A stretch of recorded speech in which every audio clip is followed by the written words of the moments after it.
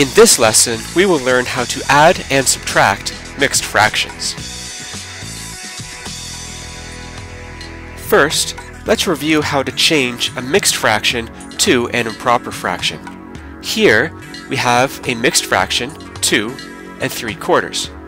To change this from a mixed fraction to an improper fraction, first we're going to take the denominator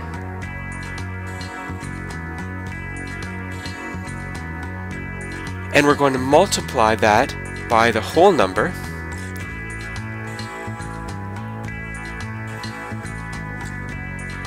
And to that we're going to add the numerator.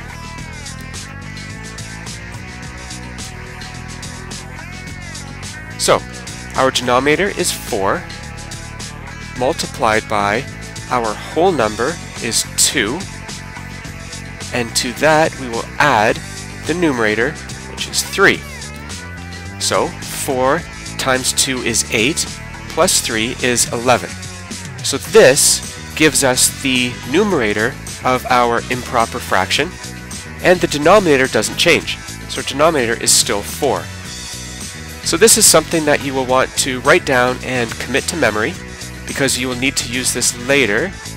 The denominator times the whole number plus the numerator gives us the numerator of our improper fraction. For our first example, we're going to add two mixed fractions. So we have 2 and 3 fifths plus 4 and a quarter. I'm going to show you two ways that you can add these mixed fractions. So the first way that we'll add these fractions, let's add the whole numbers.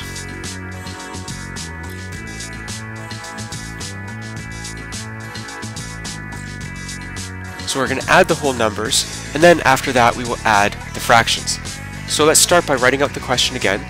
So 2 and 3 fifths plus 4 and 1 quarter equals, if we add our two whole numbers first, we get 6, 2 plus 4 is 6, and then we'll just write the fractions after.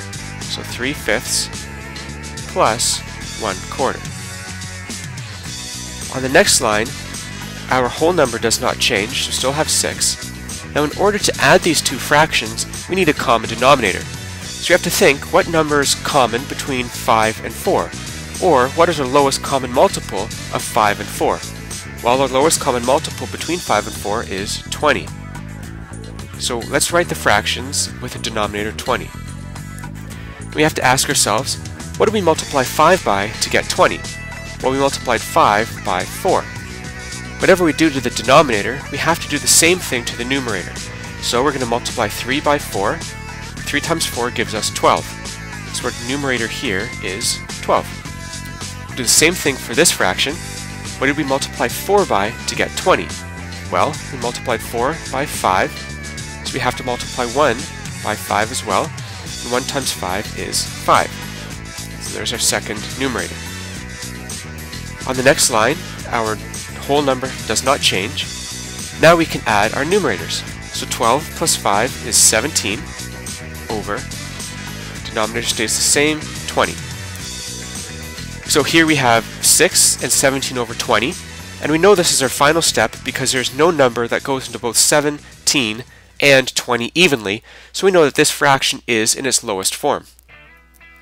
Another way you could add these two mixed numbers is by changing them into improper fractions.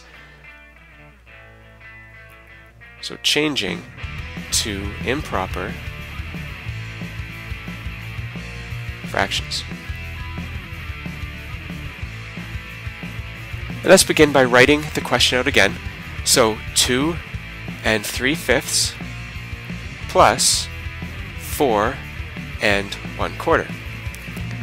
Now instead of just adding 2 and 4, first we need to change 2 and 3 fifths and 4 and 1 quarter into improper fractions.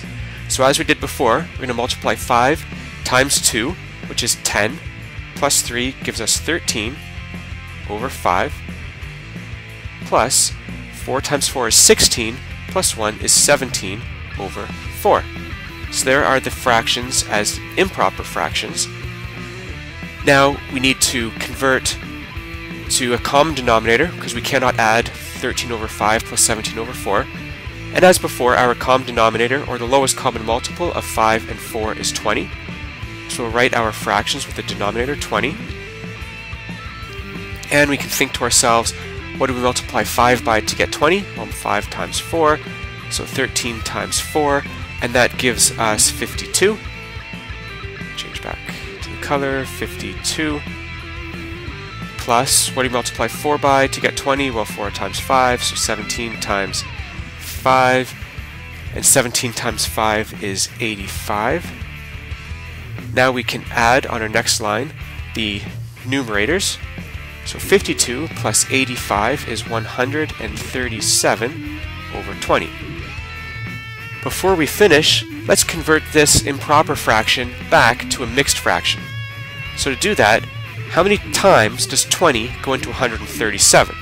Well, it goes in, there's we can fit 20 in 6 times, but we still have a remainder of 17, which we write as our numerator, over 20 as the denominator.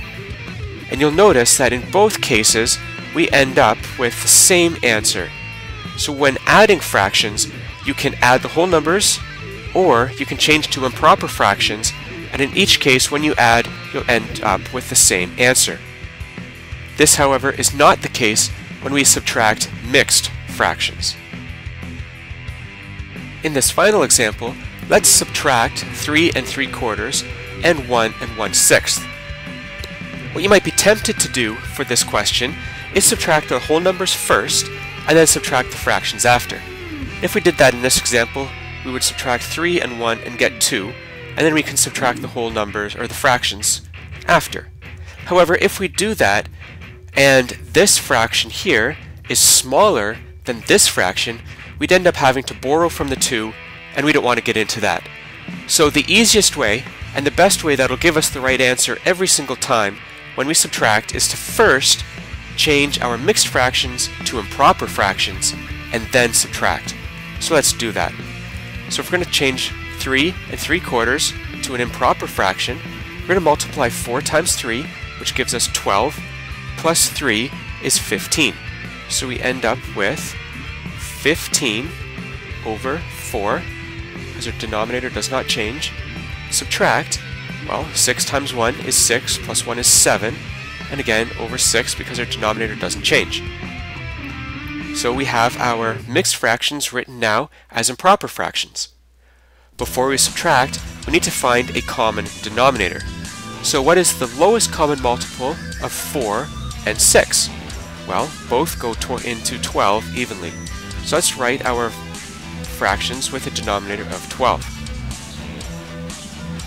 Now we need to ask ourselves, what do we multiply 4 by to get 12? Well, multiply 4 by 3. So let's multiply 15 by 3.